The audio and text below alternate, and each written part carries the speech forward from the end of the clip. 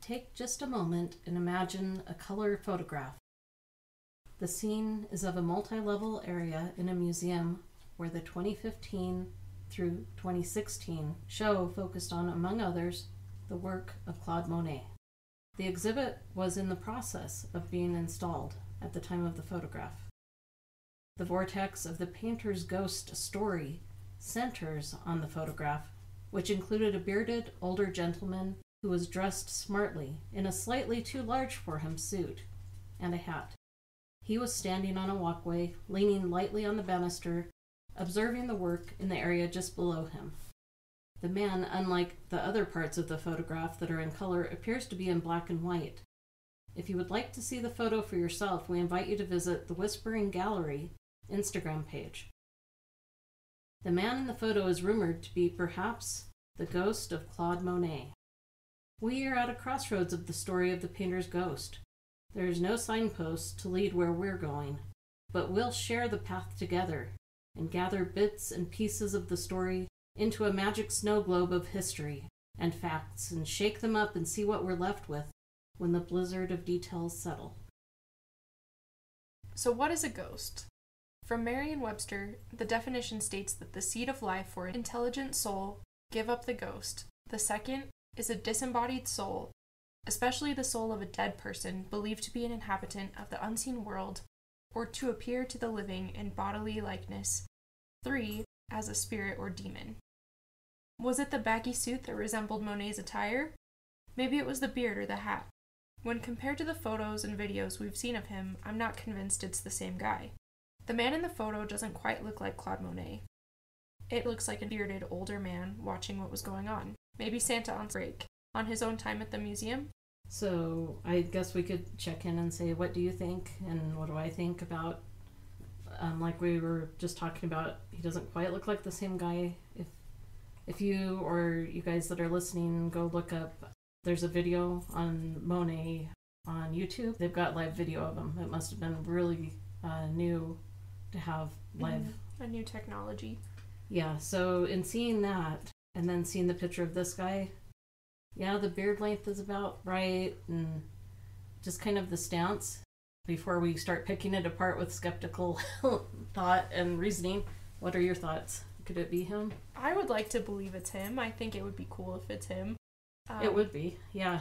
It is really weird too. I know we mentioned it previously, but that he's in black and white, and yeah. the rest of the photo is color. They're claiming that hasn't been retouched too, so.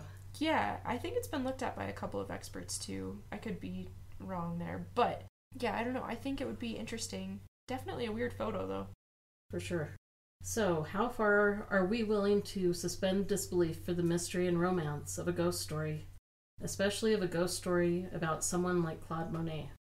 We'll dig further into the museum from the architectural style, this and a handful of final notes on this very interesting artist who kept his painting supplies close and his flowers closer.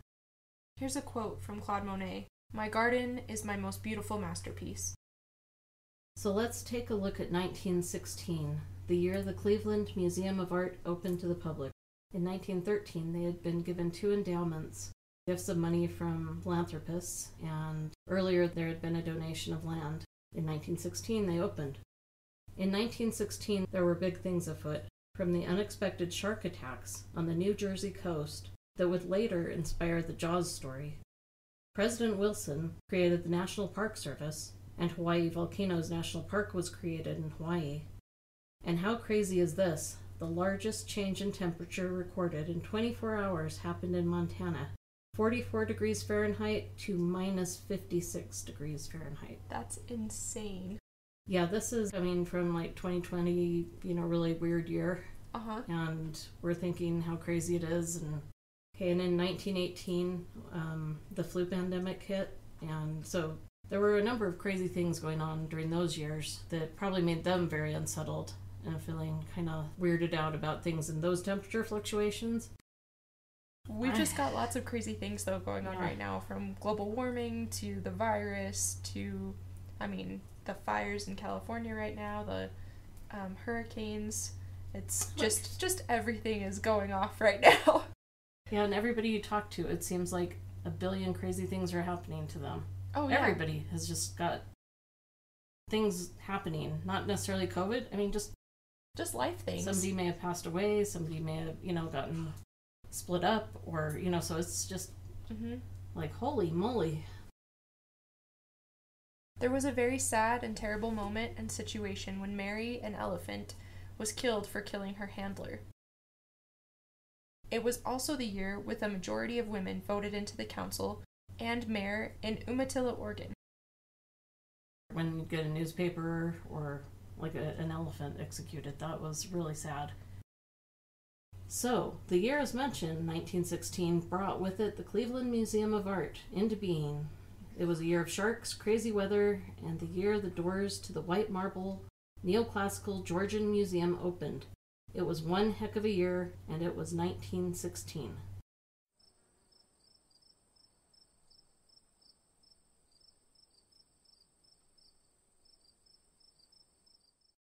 So, suppose it's a real ghost.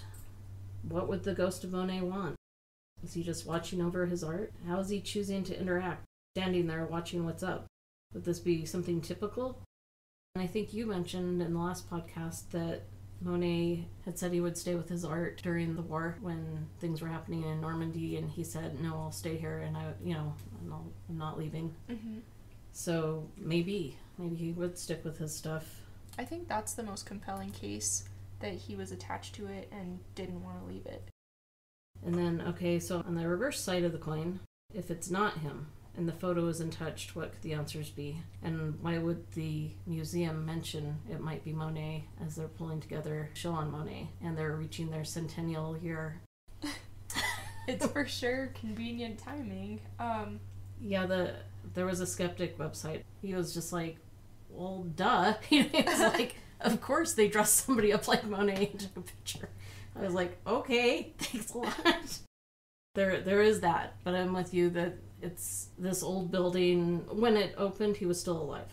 yeah, That's what I'm trying to say. he died on uh, the 5th of December in 1926. Yeah, so th- there were was a ten year, I guess, overlay on that, on his being alive and the museum being open.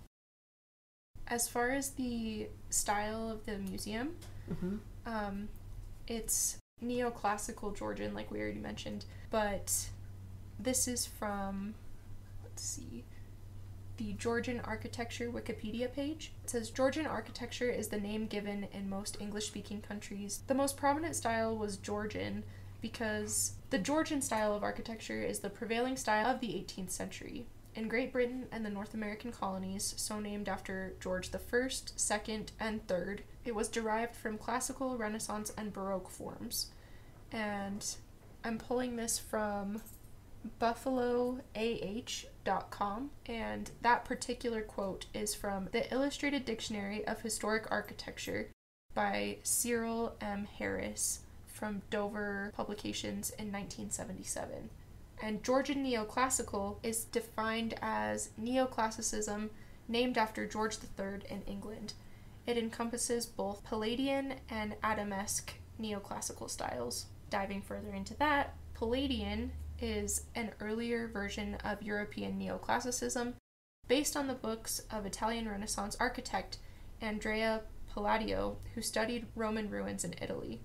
And the Adamesque style is a later version of European neoclassicism based on Robert Adams' studies of excavations at Herculaneum and Pompeii. That's a Okay. quote from uh, buffaloah.com. It's a Buffalo as an architectural museum, is what their website header says.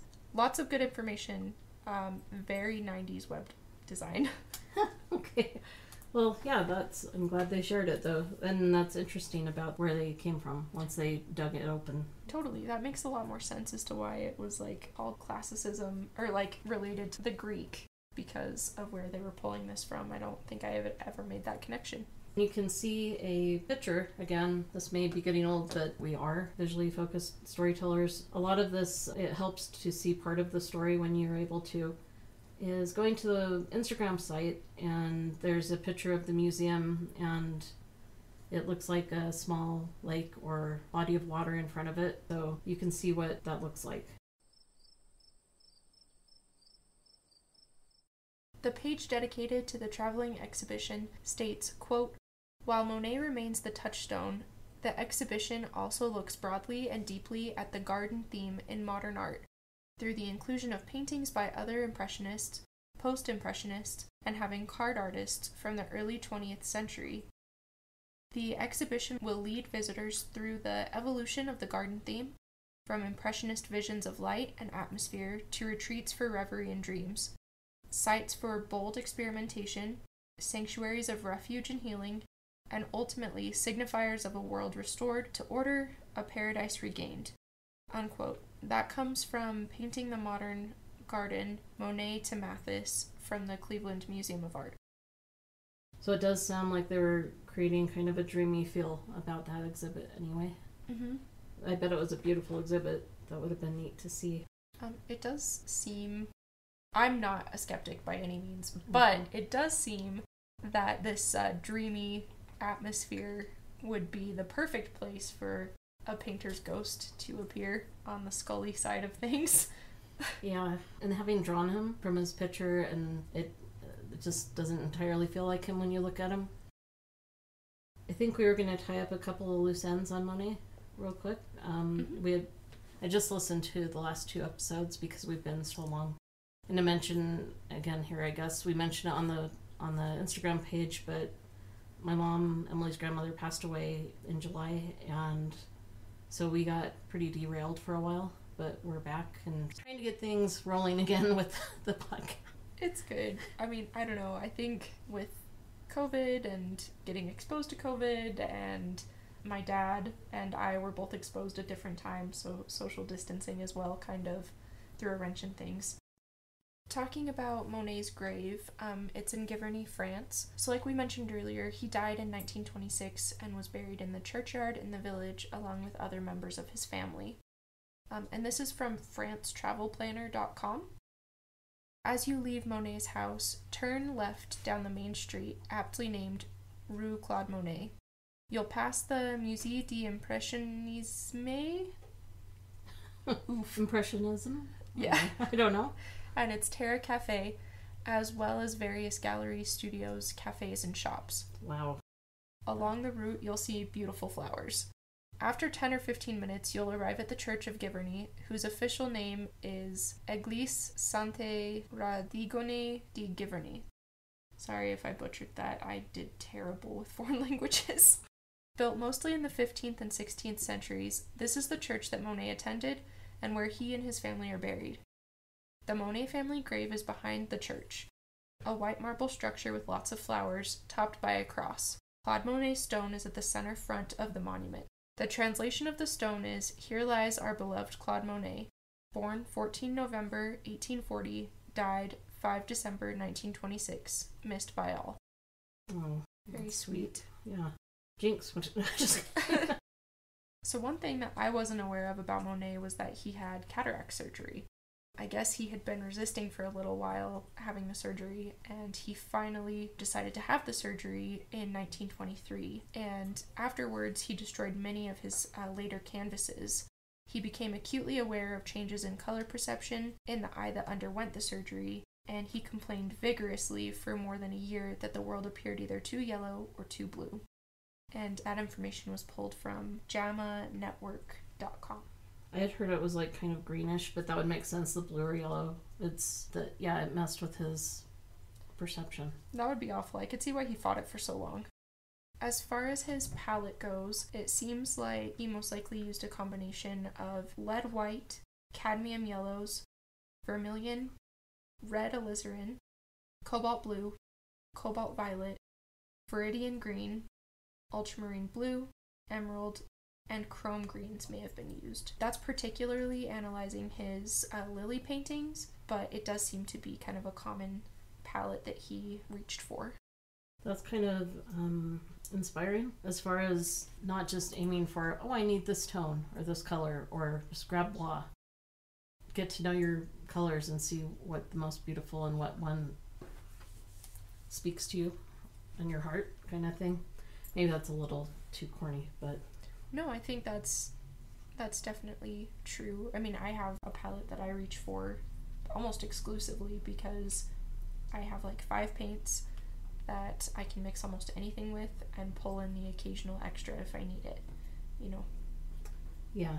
Oh, also, um, Monet was known to use ivory black in his earlier paintings, um, and many of his earlier paintings also demonstrate a more restrained and traditional painting approach. Um, he later departed from black in favor of mixing his own grays and blacks using the other colors on his palette, which I think is very um, typical of artists as they mature.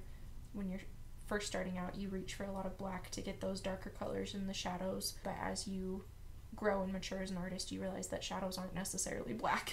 In fact, they typically aren't. I've been noticing that on the piece I'm working on right now. mm-hmm. That when I add black, it it's off Mm-hmm. and it's too dark. And when I work with like darker reds and dark, like you're saying, um, alizarin crimson, Mm-hmm. that that's more what I'm looking towards, and I can blend it in with other dark colors. Totally. So yeah, so things to learn. That little bit about including ivory black is from drawpaintacademy.com and then backslash paint dash like dash Claude dash Monet. The book of Monet's palette is where I read about him having the garden.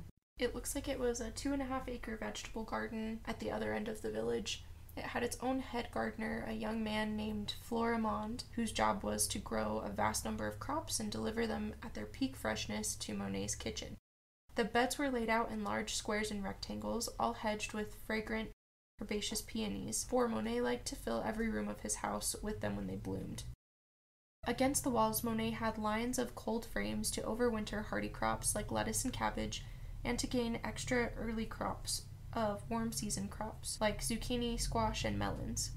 The walls also provided support for a large number of espalier fruit trees, notably apples, pears, peaches, apricots, plums, and figs.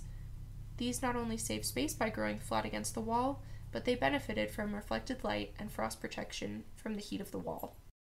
We know what the vegetable garden looked like because of a painting titled Monet's Formal Garden, painted by the American Impressionist painter Willard Metcalf. As a student studying in Paris, he cycled into Giverny and knocked on Monet's door to request permission to paint his flower garden. Although Monet refused the request, saying that he was the only person allowed to paint his flowers, he gave permission to Metcalf to paint his vegetable garden and invited him in for lunch. That painting came on the market about 15 years ago, and it is a work of oils painted on wooden board. It's also featured in the cookbook, Monet's Palette Cookbook, Recipes from His Kitchen Garden. And this was pulled from buckscountymag.com, and it was written by Derek Fell. The bit that they have in the Monet's Palette cookbook says that hidden away at the other end of the village was his bountiful two acre vegetable garden. It was cared for by his potager, uh, potager, I don't know how to say that, gardener, Florimond, like you said, who lived at La Maison Bleue, the blue house near Monet's home, containing a constant supply of fresh produce during the growing season for Monet's family and many illustrious guests. They talk about the colors of different things in like his bright yellow dining room. The Pink House. Wasn't the kitchen blue? I believe so, yeah. Yeah, so wow, that's a pretty picture. That's the painting by Willard Metcalf. Will you post that one? That bit that I just read about um, about the kitchen was written by Meryl Streep in the foreword of the book. He also, I believe, kept chickens right outside the kitchen at the house, so eggs were fresh, and that just sounds cute on that Neighborly app or Neighbor app that they they have out there. Uh-huh. Somebody had like fancy chickens that had gotten loose. the guy that posted about it talked about the little feathers around their ankles. Oh. He's like, they're very adorable. I don't know where they go. He's like, I've tried knocking on doors, but they're just hanging out in the lush green vegetation. As and I think I posted that Dad and I tried a recipe out of here. Yep, I, this is what we made: camembert, scrambled eggs with tomato and chives, topped with asparagus and morel mushroom saute. what can we get in Utah? it is not morel mushrooms yeah. and um, camembert cheese. Uh, not so much either. They were getting, you know, their next shipment in. It'd be in on Tuesday for sure. And I'm like, uh huh, sure. So we made it with brie, um, eggs, tomato, I believe from our garden because they were starting to come in. Didn't have any chives, but we did get fresh asparagus, which was amazing, and used button mushrooms. Well, we couldn't be exactly like Monet. We we tried. Basically, you're making scrambled eggs, and then once you put the cheese into the eggs, once they've kind of set, you're not making scrambled eggs that have any sort of. They're very fluffy because you're you're um, you're not pressing them to smash them. You're not trying to brown them. You're just trying to get them to set, and then that's when you start kind of stirring in the other stuff. They called for 12 large eggs, so we uh, scaled that back to six. And uh, for the creme fraiche that they call for, we used sour cream with a touch of milk and the tiniest bit of sugar, and made our own so-called creme fraiche.